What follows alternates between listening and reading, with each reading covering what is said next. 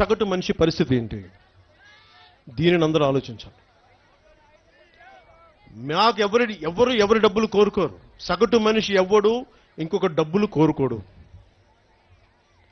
మా బలం మీద మేము బతకాలనుకుంటాం. మా ఆత్మగౌరవం మీద బతకాలనుకుంటాం. కానీ మేము కష్టపడి తినడానికి కూడా నీకు వచ్చి నమస్కారాలు పెట్టాలంటే మా ఆత్మగౌరవం ఒప్పుకోవట్లేదు అందుకే భీమ్లా నాయకు వదిలేశాను చెప్పుండొచ్చు కదా నేను కూడా?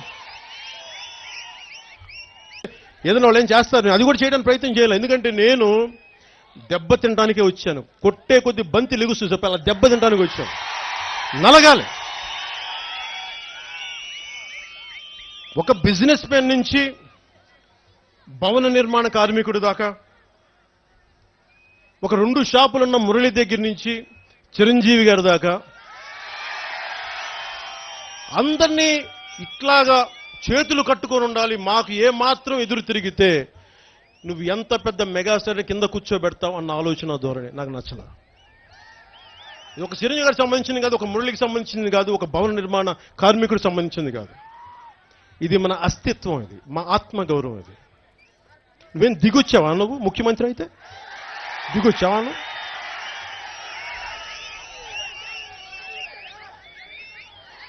కొమ్ములు ఉంటాయా మీకు?